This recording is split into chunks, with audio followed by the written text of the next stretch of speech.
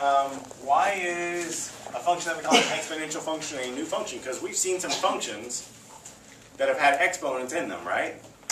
Well, the difference between functions with exponents and, and what we pro properly call exponential functions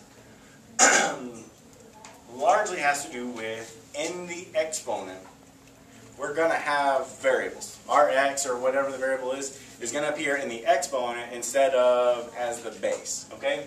So, quick examples. Um, not, not abbreviated.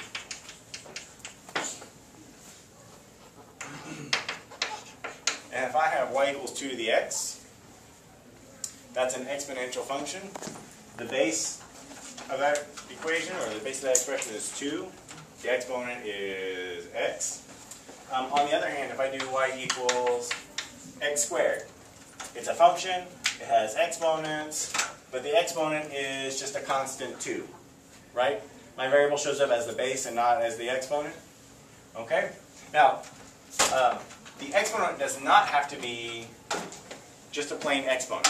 I could also do something like y equals 1 third to the x minus 3. Okay? Generally speaking, as long as there is a, an exponent, sorry, a variable in the exponent, you're okay. All right? Now, this is going to be tricky.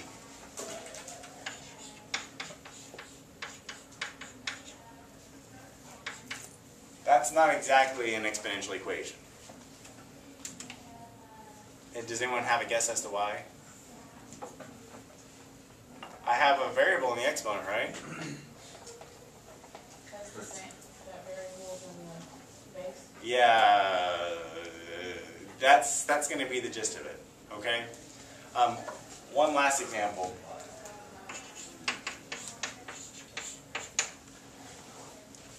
No, you know what? Let's not do that.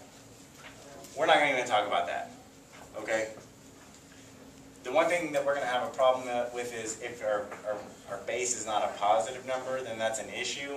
But you know what? Somebody could argue that that still is, in a sense, an exponential equation. It just has a restricted domain. So let's just leave that alone, shall we?